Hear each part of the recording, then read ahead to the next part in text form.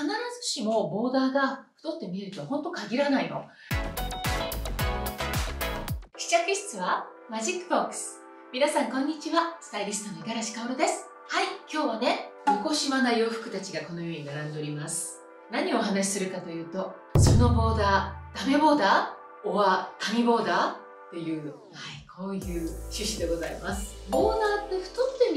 いう印象があると思うんですよ。これがね、選び方の問題だっていうところをお伝えしたいと思います。でね、パッと見ていただいて、ボーダーはボーダーなんだけれども、これぐらいこう太いじゃないですか。基本的に太いボーダーとこういう細いボーダーを比べると、まあ、細いボーダーの方が細く見えやすいんですねで太いボーダーっていうのは太って見えやすいんだけれども例えばね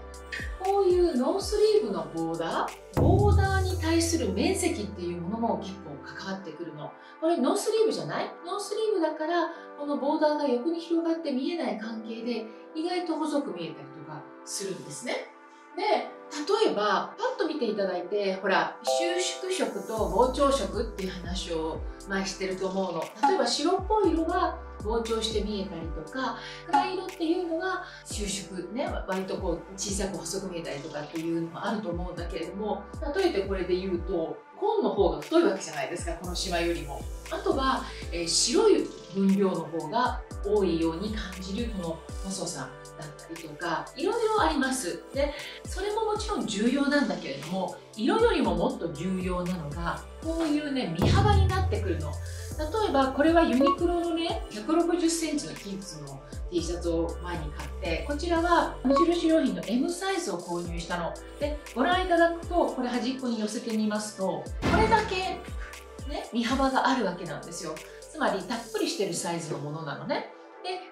してるサイズのがユニクロのキッズのもので無印良品のが割とタイトめそうするとどうなるかっていうと例えばグラマーな人だったりとか上半身に割とボリューミーなあの方っていうとこれを着ることによっていくら細いボーダーを着ようがいくら収縮色のボーダーを着ようが太って見えやすいわけ。でね必ずしもボーダーが太って見えると本当限らないの。これなんかもボーダーだけれどもこれだけドンと太ければもうボーダーというような呼び方というよりもその色のブロックみたいな感じになってくるの。でさっきの収縮色で言うとこれ上が一番明るくて徐々に暗くなってるじゃない？これが例えばバストが大きい場合はバストのところに本来こういう濃い色が着ててほしいしウエストを細く見せたい場合は今みたいに濃い色だったりするとより良いんですよ。なかなかでもこれはね選べなかったりとかっていうかもうすでにこういうような状態でデザインされてる場合はなかなか難しかったりすると思うんですが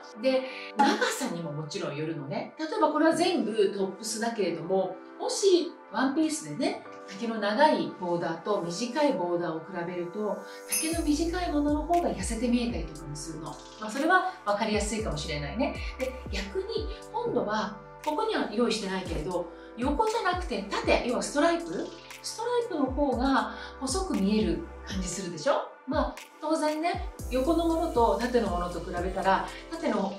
柄の方がすっきりして見えるのは当然なの。ただそれも柄の太さサイドに何の色が来てるか。例えばサイドに紺白紺白っていうボーダーあのストライプでね。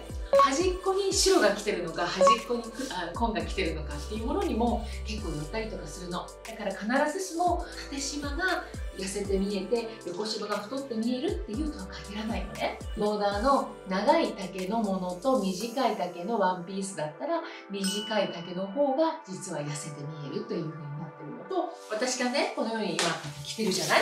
このベストも一見確かにこう太って見えるかもしれないんだけれど一番この幅が太って見えるからね。これが全身に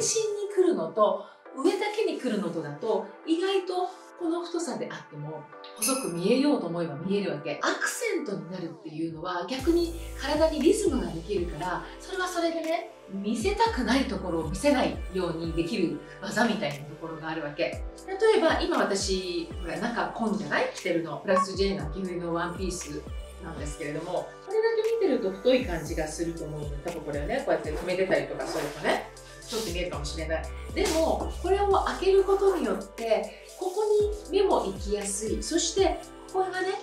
アイルのラインをつけて余計細い細さというかねそれを相手にこう強調するというかここのお肉も見えないし逆にこのはっきりとしたボーダーっていうところも相手の目に入るから目くらましになるわけ。なのでまに使い方をすると目くらまし目の錯覚っていうものも起こしやすいわけ。一見細く見えるものの方が細く見えるかもしれないけれどもちゃんとしたアクセントがあったりこのようにノースリーブだったり面積にも関わる、ね、それから身幅にも関わるそれから色ももちろん関わるそしてこのように島がこのように均等なものではなくてちょっとアトランダムだったりとかこのように色が変わってたりとか独特な配列だったりとか、え、ルールを作っているようなボーダーだとより人の目を見くらませできるいうことをぜひともお伝えしたいと思います。ね、だから食わず嫌いしないでいただきたいしボーダーの方が太って見えてストライプの方が痩せて見えるっていう風に違いに決めないでいただけると嬉しいと思います。はいいかがでしたでしょうか？試着室はマジックボックススタイリストの五十嵐薫でした。最後までご覧いただきましてありがとうございました。どうぞチャンネル登録ポチッといいねボタンで高評価をいただけるとすっごく嬉しいです。それではまたお会いしましょう。バイバイ